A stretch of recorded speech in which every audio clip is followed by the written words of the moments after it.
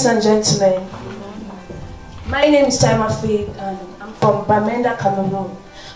And I'm here today to emphasize on the fact that drinking water should remain public in Cameroon. Considering the fact that water makes up 75% of the world's space, it is a right that everybody should have access to water and clean water as a fact. So, um, this young girl, I grew up in a community where tap water or potable water was meant purposely for drinking. And any other thing you will be punished. If you do any other thing with water, you will be punished for it. And this was because water was first of all scarce. And when it happens to flow, the bills are very high. So we end up we ended up using excuse we ended up using well water and stream water to pay to which is not supposed to be the case because waterborne diseases are not only transmitted through water that we drink, but the one that touches our skin because we have pores on our skin. So I'm emphasizing on the fact that water should remain public. Now, privatization occurred in Cameroon between the year 2000 to the year 2018, and we learned from these experiences because during that period, various organizations were taking over the distribution of water, and the effects have not been good. Now, the Cameroon government did this thinking that they could lighten up responsibility, but in the end, it had led to high bills, um, mismanagement of funds, lack of transparency. And we see that these private firms are out for profit and they're not out for the benefit of the Cameroonian people. These private firms um, they are not interested in the rural areas. They are interested in the urban areas where the population is high.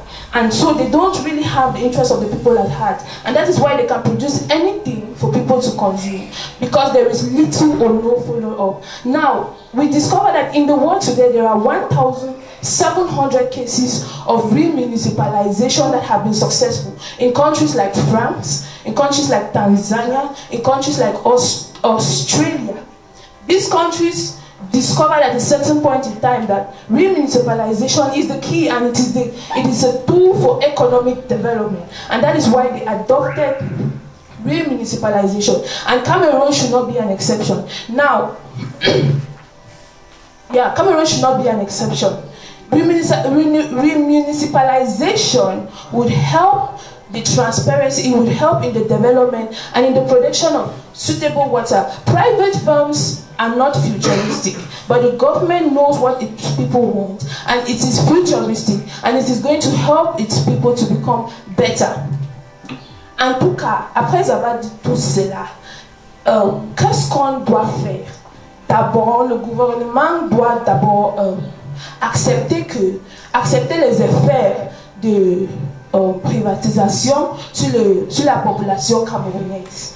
En, en 2018, la président, le président de la République du Cameroun a dénoncé la privatisation et ça, le Kamwata a été créé. Et le Kamwata maintenant euh, a été créé avec l'objectif de distribuer l'eau dans les zones urbaines et semi-urbaines. On se pose la question alors, qu'est-ce qui va se passer avec les zones rurales? Donc, ceci nous fait penser qu'il y a, il y, a des, il y a la possibilité de rentrer à la privatisation dans la future. Et c'est cela, c'est pour cela que nous tenons ici, pour dire que la privatisation n'est pas à notre bénéfice. Donc, le gouvernement doit euh, euh, encourager la ré, doit encourager la remunicipalisation de l'eau.